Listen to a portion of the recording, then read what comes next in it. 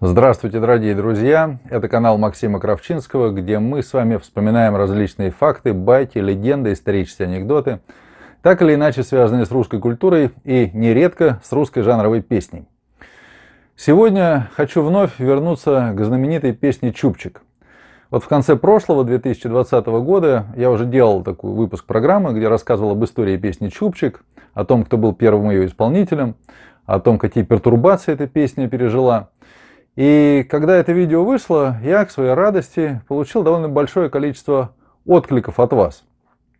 И собрав эти отклики воедино, как-то структурировав, я понял, что Первую программу мало, что надо записывать э, продолжение. Что я, собственно, сегодня и делаю. Так что мы продолжаем изучать эту модную прическу под названием чупчик. Ну, фигурально, конечно, выражаясь. Итак, э, исполнители чупчика. Я уже говорил, что в первой программе, что Лещенко был далеко не первым, даже не вторым и не третьим. Самым первым был такой певец, иммигрант тоже, уроженец Тишинева, Муни Серебров. Вот он самым первым Э, записал Чупчик на пластинку в 27 году. И Лещенко в этом ряду был четвертым. После Муни был Иван Петренко, он же Давид Медов, э, потом был Юрий Морфесий, и только потом четвертым был Петр Лещенко. Так вот, первый факт, который меня заставил записать значит, продолжение всей этой истории, то, что Лещенко был не четвертым, а, видимо, пятым. Потому что после выхода программы известный коллекционер, который, к сожалению, к большому моему, он в конце декабря ушел из жизни – те, кто собирают, интересуются русской песней, знают его имя очень хорошо. Это Сергей Ставицкий из Запорожья. Вот его, к сожалению, не стало, но он успел прислать мне фотопластинки Леонида Моложатова. Был такой певец в Харбине, который, видимо, записал Чупчик четвертым в 1932 году в Харбине. А Лещенко, записавший его э, в Латвии в 1933 году, соответственно, становится пятым, так сказать, перемещается с четвертого на пятое место. Это первое. Второе. После того, как первый выпуск про Чупчик был записан, мне в Фейсбуке написал коллекционер из Израиля по имени Павел, который занимается очень плотно такой певицей, известной Иза Кремер. Ее называли когда-то Вертинский в юбке. Она вот одна из основоположниц и авторской песни, и шансонетки. Мега популярная певица в начале 20 века. Э, в общем, гремела она и в Одессе, и в обеих столицах потом эмигрировала, пользовалась огромной популярностью. И вот э, Павел из Израиля, он занимается ее биографией, собирает материалы с ней связанные. И увидев мою программу про Чупчик, он присылает мне две газетные статьи. Одна из них, вернее, это реклама, а вторая статья. И что я там вижу? Вот первая реклама, которую мы видим, это реклама концертов э, некого болгарско-румынского оркестра в еврейском ресторане в Нью-Йорке. И газета эта датируется 26 годом.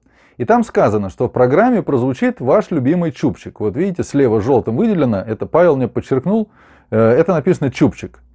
Э, соответственно, мы делаем вывод, что к 26 году эта песня уже хорошо известна слушателю. Более того, на нее зовут публику. То есть она очень хорошо известна. Это такой прямо шлягер, хит, назовите как угодно.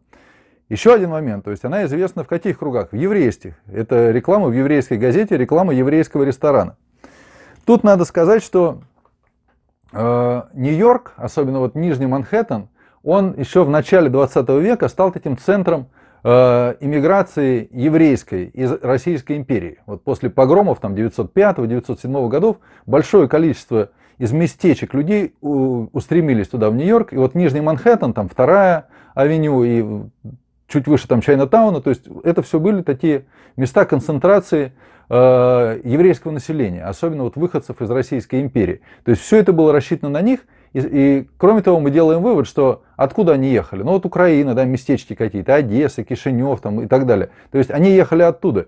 И там эта песня уже была хорошо известна, и там она звучала. Запомним это. Но это еще не все. Павел присылает мне вторую газету. Эта газета посвящена, э, в этой газете опубликована статья большая, посвященная Изи Кремер, то есть главному интересу моего коллеги, так сказать.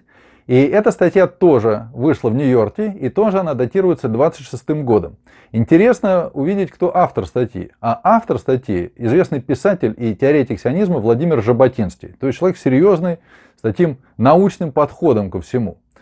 Ну, среди прочего, так сказать, он описывает, э, какая замечательная язык Кремер певица, ее пертурбации. Она уже к 26 году э, покинув Одессу, побывав в Париже и в Стамбуле, она уже оказалась в Нью-Йорке и с успехом там выступает. И в конце статьи Владимир Жаботинский сетует, что почему же Иза Кремер не включает в свой репертуар знаменитый «Чупчик». И пишет он, что этот «Чупчик», который был написан лет 70 назад и посвящен известному бандиту. И далее Жаботинский цитирует песню. Но цитирует он, увы, не Чупчик, а другую композицию, которая, ну, условно называется «Мальчишка». Там такие слова были, если помните, «Прощай, моя Одесса, славный карантин, на завтра угоняет на остров Сахалин». Эта песня, она была известна в начале 20 века, ее пел такой артист, был Ефим Диляров. Прощай, города Одесса, прощай наш карантин, нас отправляют на остров Сахалин. Погиб я, мальчишка, погиб я навсегда, Годы за годами проходят года.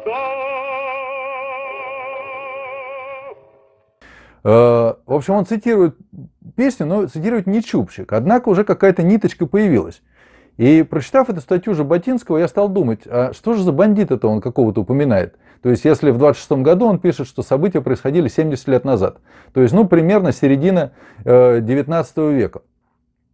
Копнул поглубже, и выясняется, что не 70, а правда 50 лет назад относительно написания статьи, то есть в 1880-е годы, действительно, в Одессе был известный преступник, и звали этого преступника Владимир Качупчик. Ну, соответственно, нетрудно понять, что кличка у него была уголовная Чупчик. И более того, исследователи одесские краеведы утверждают, что этот самый Качупчик был любовником знаменитой Соньки Золотой Ручки, и он же сплавил ее, так сказать, полиции сдал, и чтобы воспользоваться тем, что Сонька успела, значит, наворовать.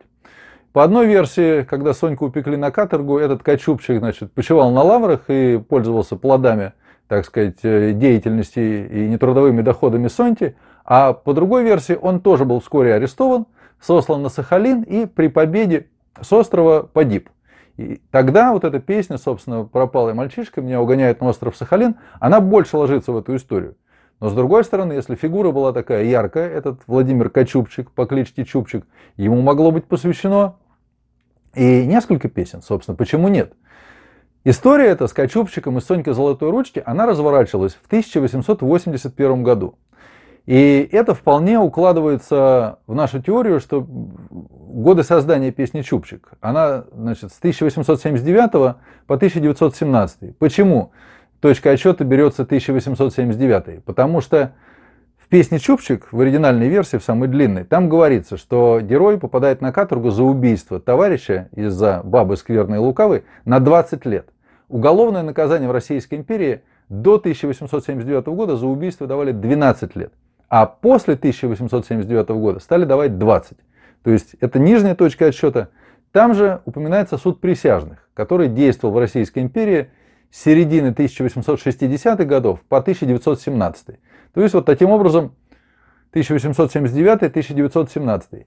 Если же мы поверим, что этот самый Владимир Качупчик, Чупчик является действительно прямым или косвенным героем этой песни, то и рамки еще более сужаются. То есть 1880-е годы по 1917. Скорее всего, где-то там, раз к 26 году песня уже широко и мощно известна, особенно еврейскому населению, причем в разных уголках света, то мы делаем вывод, что, скорее всего, действительно, песня появилась в Одессе, по отголоскам вот этих событий, связанных и с Сонькой Золотой Ручкой, и с Чупчиком. Ну, фольклор уже и народ, так сказать, переплавил всю эту историю, не соблюдая, так сказать, протокольную достоверность, и вот что-то такое получилось. Я лично э, этому вполне доверяю.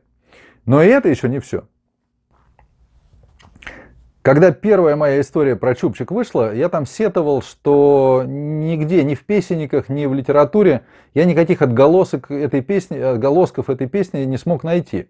Но известный публицист, журналист Эмиль Сокольстий, с которым мы дружим в Фейсбуке, он, посмотрев мою историю, указал, что я ошибся. На самом деле есть песня э, старинная, где одна из строф это, в общем, прямое заимствование в Чупчике. Песня называется, ну, условно, конечно, «Зачем я встретился с тобою?». Я нашел ее, да, Эмиль, так сказать, показал, что текст ее есть в интернете. Песня, видимо, середины 19 века. И там действительно есть такая строфа Вот скоро-скоро снег растает, в полях цветочки расцветут, а мне несчастному в то время железом ноги закуют. Ну и мы можем вспомнить, что в Чупчике действительно практически, ну, практически слово в слово она повторяется. Э, там она звучит так. Пройдет зима, настанет лето, в садах цветочки снова расцветут, а у меня, у бедного мальчонки, цепями ручки да ножки закуют. И последнее, что хотел сказать. Когда я выложил э, историю про Чупчик, один из комментов был ссылка на YouTube. Ее прислал э, мой фейсбучный знакомый Алексей Блюминов. И я кликаю, и вдруг звучит знакомая мелодия Чупчика, но звучит она совершенно не на русском. И что я вижу?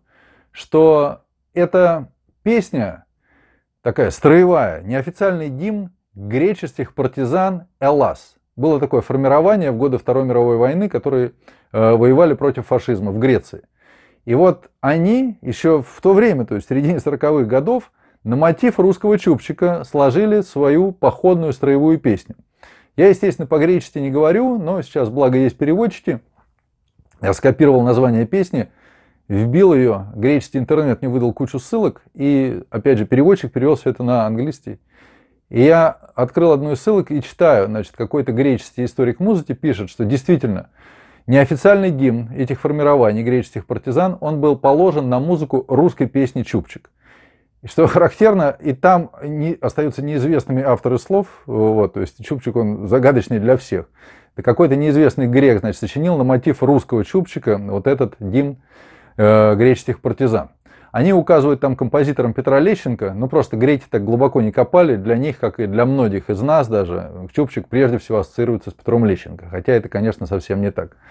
Вот, вот такая история у нас сегодня получилась про Чупчик, в общем, вполне достойное, я думаю, продолжение получилось у нас сегодня.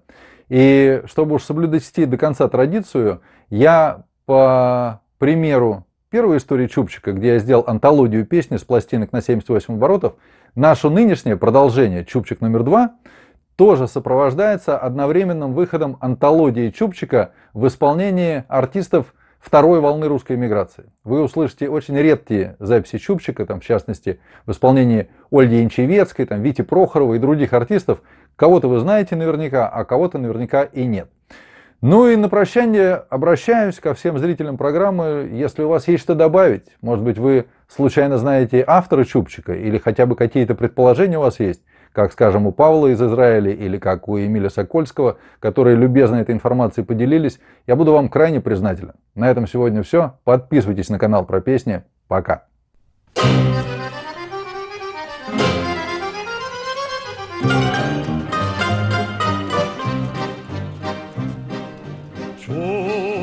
Чупчики, чупупупупчики, чупчики кучерявый, Развивайся, чупчика по ветру. Прежде чупупупупчики я тебя любила, А теперь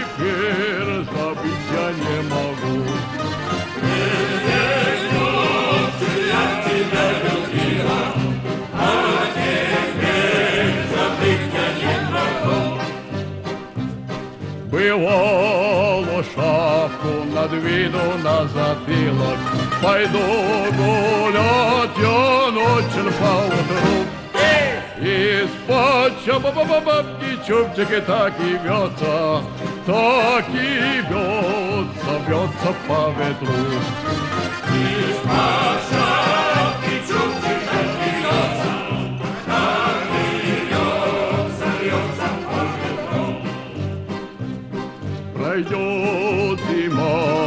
настанет лето, В саду деревья пышно расцветут. А мне би-би-би-би, бедному мальчонке, Цепями ручки на ножки закуют.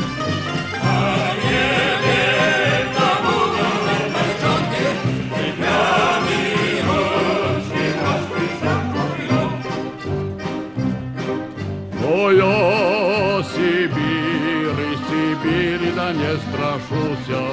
Сибирь ведь тоже русская земля.